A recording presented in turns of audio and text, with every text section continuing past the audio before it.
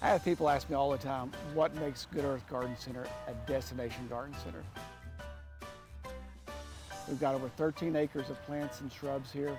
We have monkeys here on site. We have a great playground, live music on Saturdays, and a beautiful atmosphere.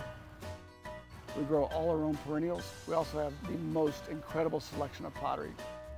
A destination is a place you want to come, have fun, hopefully buy something, and enjoy your time while you're here. It's good earth.